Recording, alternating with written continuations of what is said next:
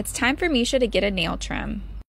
Since we work free contact with some of our cats, we do some nail trims on them, including Mischa, our Amur leopard. We don't want Mischa to view getting her nails trimmed as a bad or scary experience, so we do provide a lot of yummy food for her to focus on while we trim her nails. Once all of Mischa's nails have been trimmed, she gets a lot of love and pets from everyone, and then she's able to go about her day.